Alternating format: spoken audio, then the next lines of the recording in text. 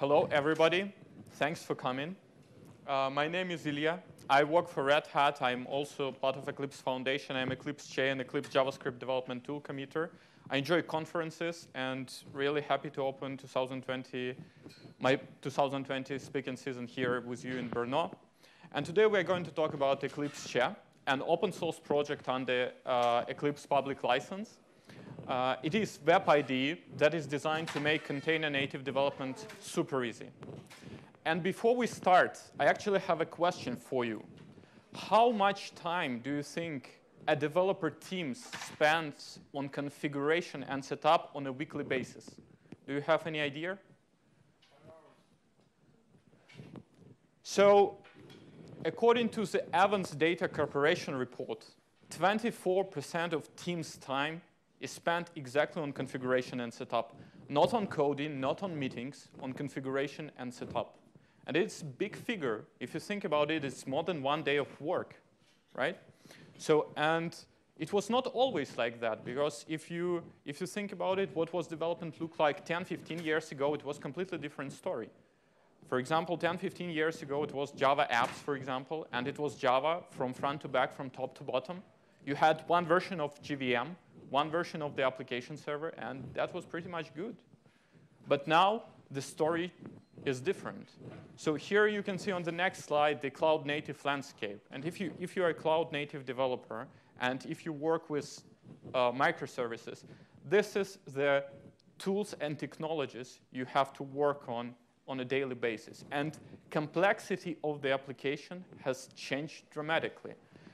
Also, if you think about it, our laptops are not ideally suited for this landscape because uh, in order to develop uh, cloud native tools, you need sufficient amount of CPU, sufficient amount of RAM on your laptop. And it's not the case currently. So to develop in this environment, to be comfortable with, you need laptops with at very least 24, 32 gigs of RAM.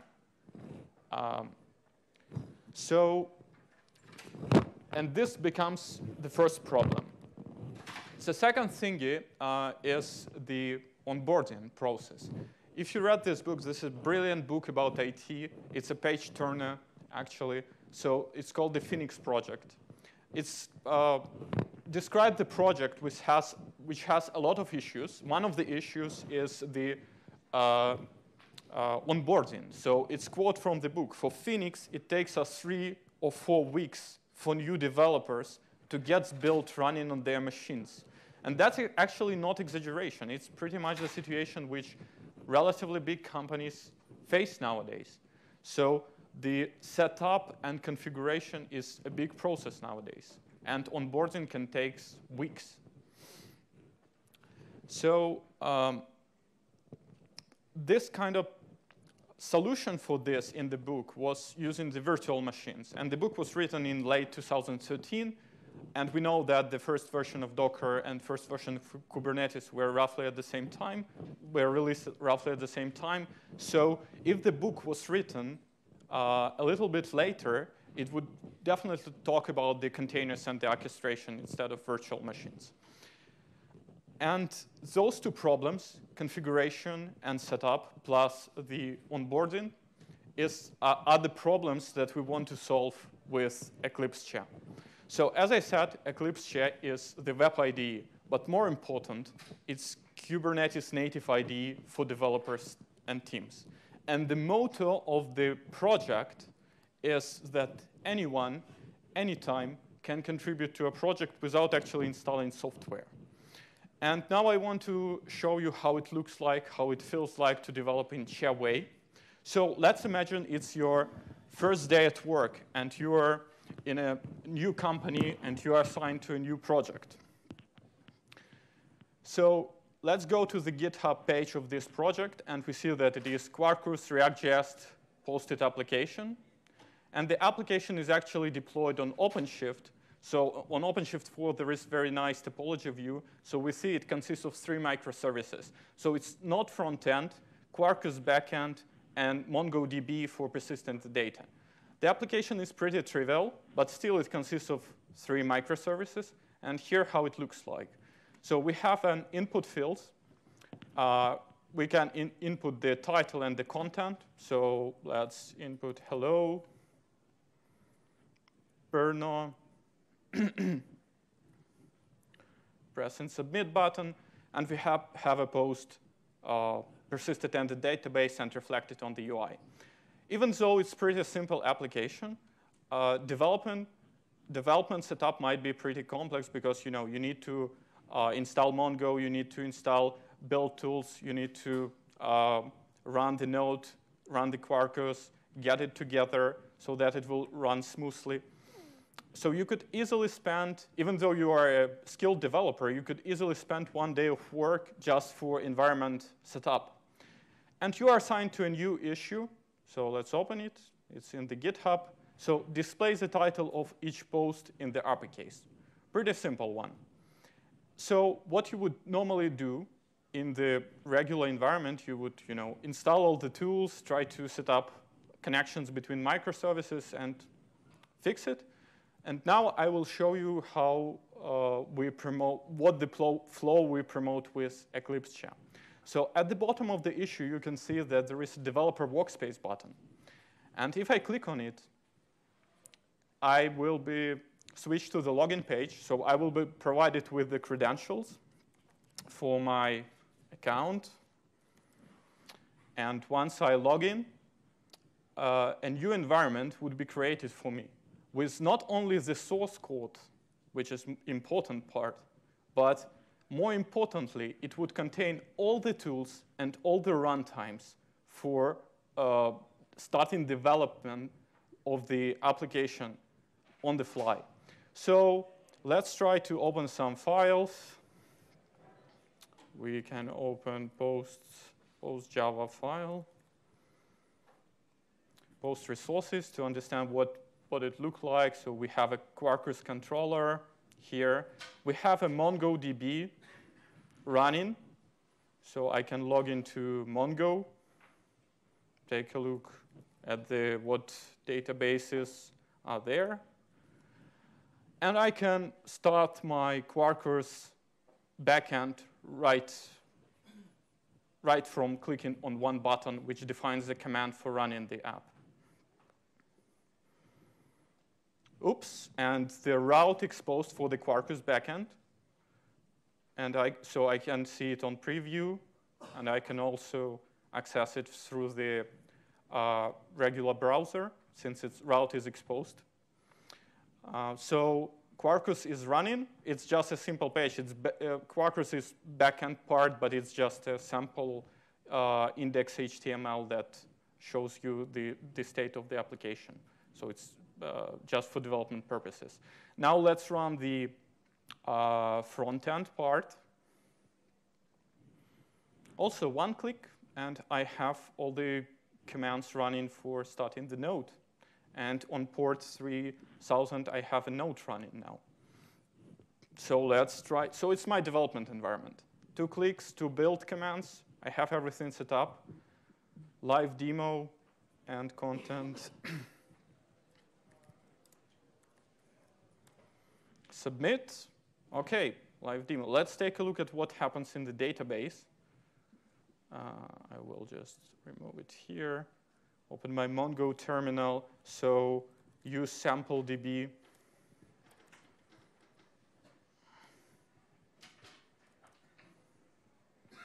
And DB posts find. OK, I see live demo title is there. All right, so now let's try to debug it. Let me put some breakpoints in the code. So the, in the issue, we need to change the title, right? So I will put the breakpoint in the get title method, and I will run the debugging. So I'll start the debug session right away. And let me refresh the page. OK, and I'm in the debug view now.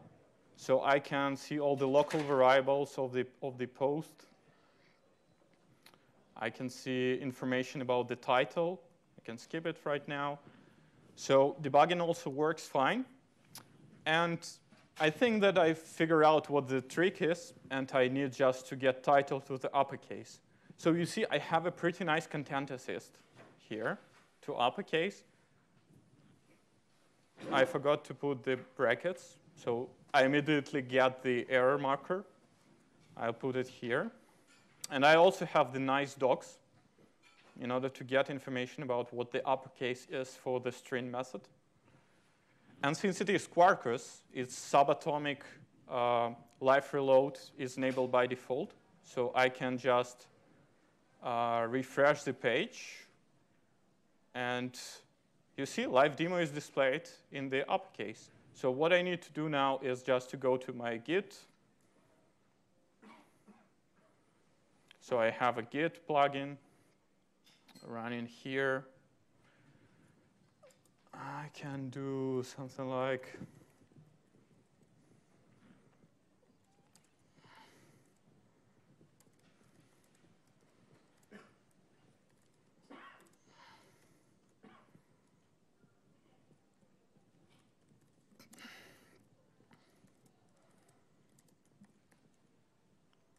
can add the commit message. Here.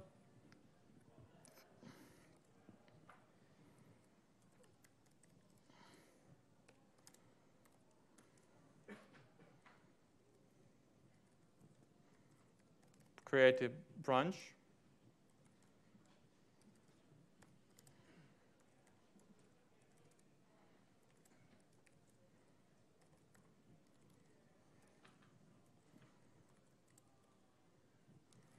And push it to my remote. And if I go back to GitHub,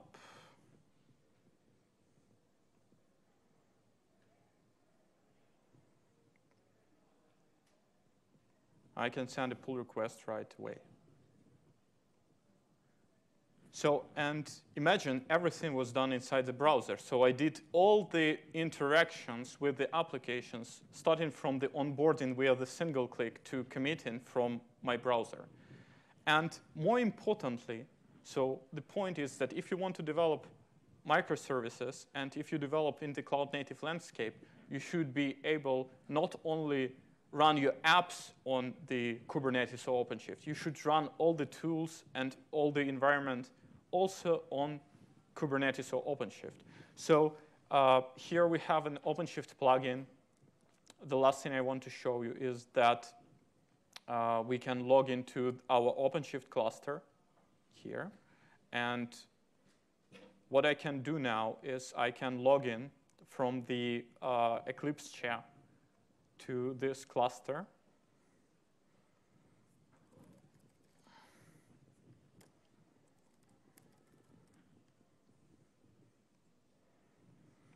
And I can see what applications available for that user. And now, if I want to, for example, spin up yet another service or yet another port, what I need to do is literally just to open a terminal.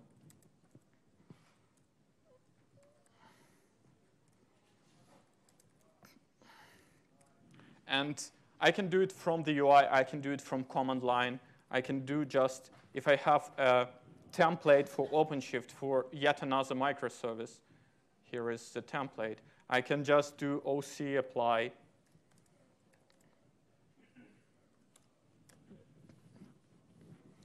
And on the topology, you can see that the new microservice is about to start.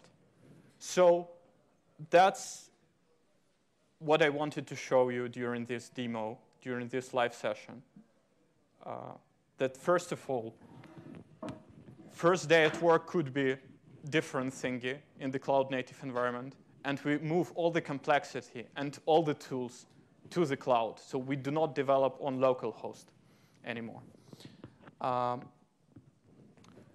so I will just quickly touch the Che architecture because the important thing uh, before we go into this uh, detailed diagram, is that we can imagine that Eclipse Che consists of two parts. It's controller part, so the main part, which is called Kubernetes API, which spin ups the workspaces, which are literally a pods that, can, that are consist of a couple of containers for tooling, for runtime, for, for testing, etc.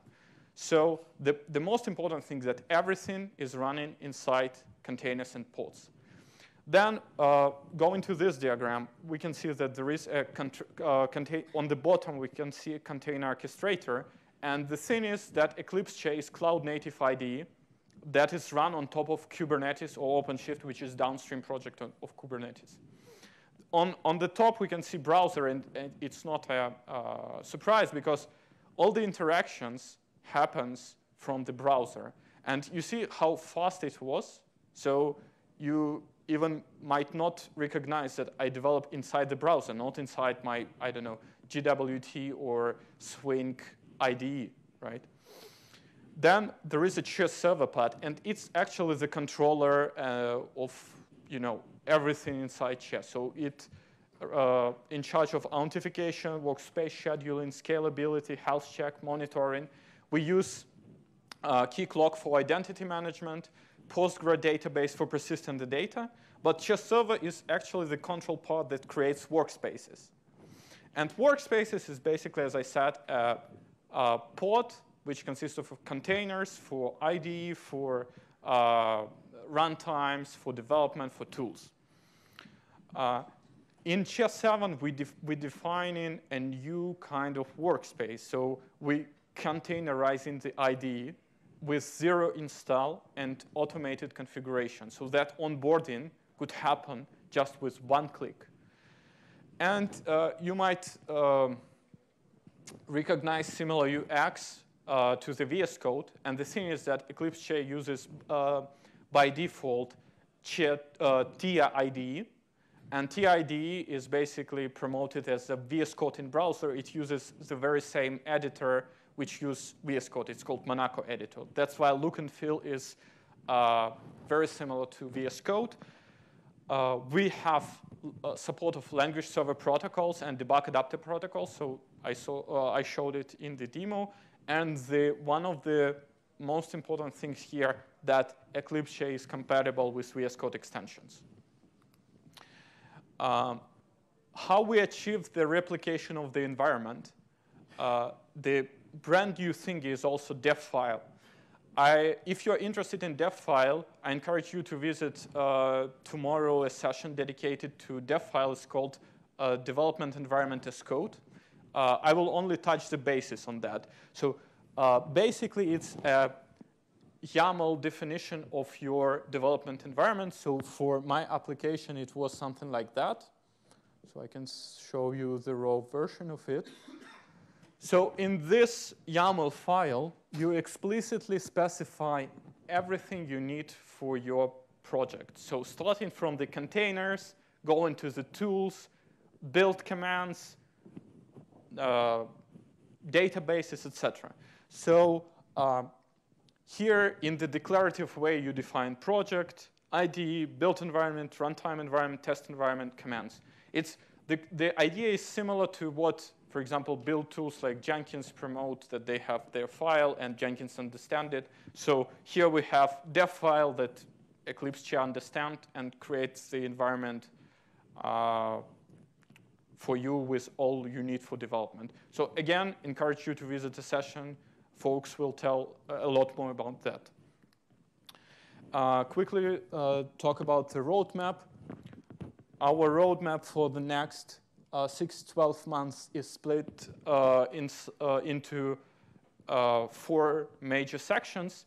You can find it on the Eclipse GitHub in the wiki page, but basically it's just the following. Easy to use. We want to make it easy to use. We want to improve developer experience, improve performance, and uh, the last but not least part is hybrid cloud. So we want to allow uh, not only running the containers, but also building the containers. Uh, and there are already proof of concept with Podman uh, for, for that. And if you want to try it, um, you should go to eclipse.org-che uh, website. Here you can find all the getting started guides, downloads, documentation, reference to our Mattermost channel, so feel free to join. Uh, and the last but not least uh, is that uh, we also have hosted version of Eclipse Che. It's called uh, che.openshift.io or Eclipse Che hosted by Red Hat. And the easiest way to try it is basically you go to eclipse.org.che. Then you have this SaaS workspace templates. And here we have a set of dev files ready to go uh, to start, you know, coding instantly on hosted version of Che. So we, here we have Spring, Vert.x Go, Java Gradle, Java Maven, Node, etc. So you just go there, you click a button, for example, Go, launch workspace, and you'll be uh, redirected to the Red Hat login page. If you have an account, that's fine, just log in. You will be provisioned with a new user. If not, create an account, and uh, you will get access to hosted version of Che. That's about it. I'm, I think I'm on time, and we have four minutes for questions. Yeah, it's, um, uh, the question was what, are, what languages are supported? Uh, so uh, the thing is that we support multiple languages. We are the language server protocol, and you can find uh, all the languages that are supported in, at the Eclipse plugin, Eclipse plugin registry. Uh, so there is a repository um, that is called Eclipse plugin registry, but literally it's Go, Node.js, Java, Python, PHP. There is a contributions from, from uh, for COBOL, I think. Uh, there is unfortunately no, no proper document that shows it, but if you go to uh, plugin registry, you could find all the things that we currently support. Because it's keep growing every day. Uh, currently, I think there are uh, around 60 language services. Not all of them uh, are contributed to Che, but you know, it's, uh, it's every day it's enhancing. So the, the basic one is supported. Next question. What is the amount of work that needs to be done to add the support for another language, if it already has language server protocol? Um, so the question is, what amount of work is required to support a brand new language when, when uh, there is already a language server? I think it should be relatively easy. So if it is supported inside the VS Code, it should be quite easy to backport it to Eclipse Che. It should be actually just a matter of embedding the VS Code extension that provides the support. For example, we got a support for Quarkus, and it was uh, just uh, a, a, you know, contribution of the embedding of the VS Code extension. So there might be some API incompatibilities between VS Code, Che-Theia, and uh, Theia, but in general, it shouldn't be a very difficult. As soon as there is a VS Code extension, the porting uh, new language to Che shouldn't be a difficult task. Next question. So looks like no questions. Uh, we're just on time. Thank you very much for coming.